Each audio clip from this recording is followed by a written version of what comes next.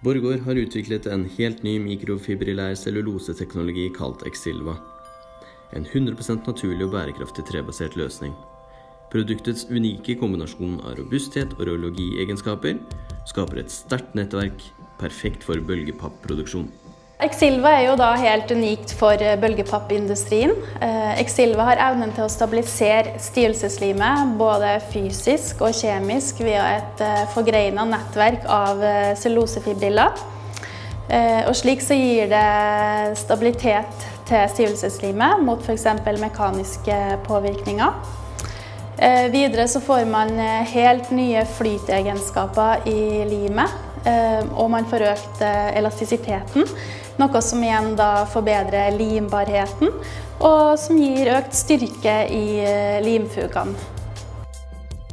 Exilva gjør det mulig å produsere bølgepapp uten tilsetning av borderivativer i limet.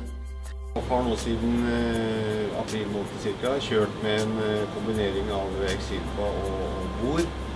Vi syns vi nå har funnet et lim som fungerer meget bra ved at vi bruker Exilva som et additiv.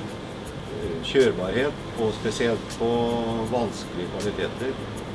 Vi har økt hastigheten relativt mye på spesialkvaliteter, vil jeg si. Der har vi hatt kanskje 25-30% økning i hastighet. Kun én limresept bruker den på begge stasjoner, både på singlefacer og dobbeltbacking. Og vi reduserer fortsatt limforbruket og limgap. Og vi har sett nå at i veldig mange tilfeller så har vi vært nede på det som er mekanisk og teknisk mulig å kjøre, altså en minimum gap på maskinen. Over en periode på mer enn to år har den norske bølgepapprodusenten Glommapapp, sammen med Borregaard og Exilva Innovasjonen omfattende testet, produsert og utviklet bølgepappløsninger uten bordtilsetning. Første del av 19 så har vi kjørt 100% boromfritt.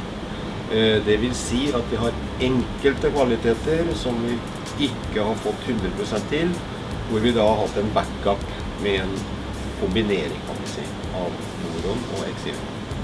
Men jeg ser at det finnes muligheter til å utvikle reseptene videre, og vi har gjort, gjort så sent som denne uka her da, en ny test.